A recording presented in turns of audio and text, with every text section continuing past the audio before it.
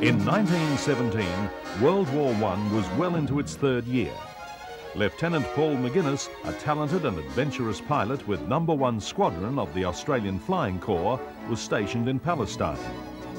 His observer was Lieutenant Hudson Fysh, and the squadron's leading flight engineer was Flight Sergeant Arthur Baird.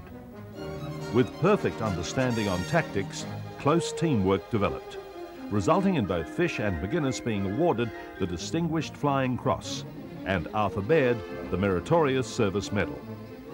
It also formed the basis for their work in the formation of Qantas when they returned to Australia.